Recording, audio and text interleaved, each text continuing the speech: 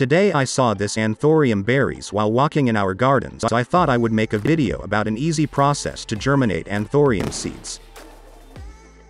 This is a small beautiful pink flowering anthurium plant. They are not actually a flowers.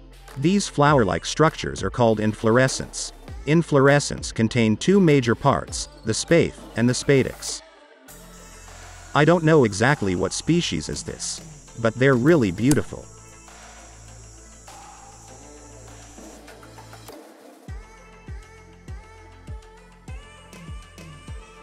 Now I remove the berries from the inflorescence. Don't worry. Ripe anthurium berries are easy to remove.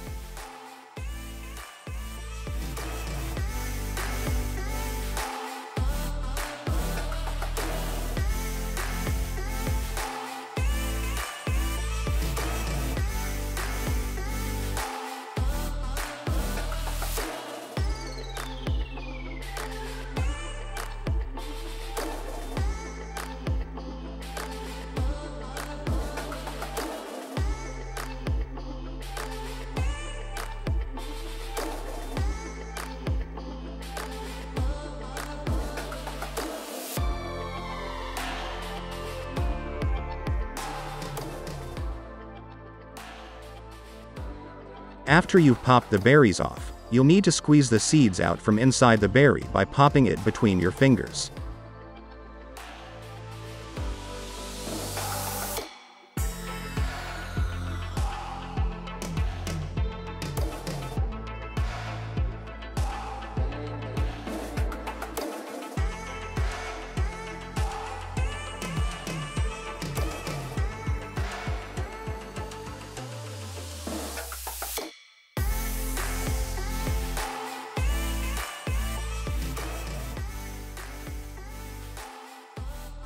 You should wash the seeds thoroughly with water to make sure the berry flesh is completely removed.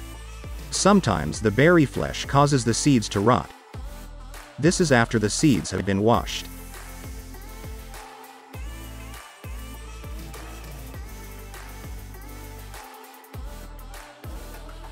There are few different ways to grow anthurium from seeds. I like to use coco peat as a growing medium. You can use sphagnum moss as well. You can use seedling tray or small pots to grow seeds. If you want to buy some seedling trays or pots, there are some links in the description.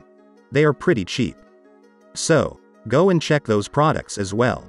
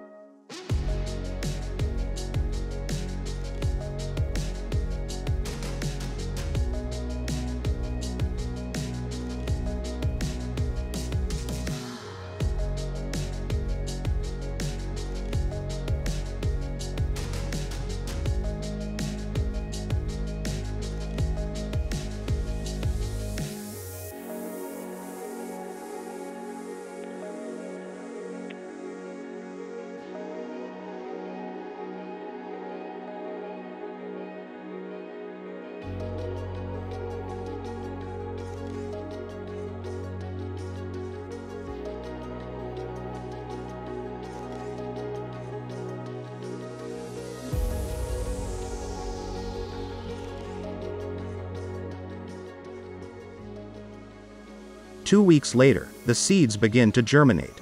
Not all seeds have germinated but most of the viable seeds have germinated.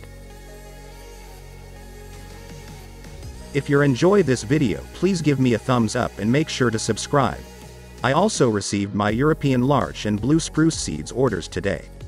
Stay tuned for those videos too.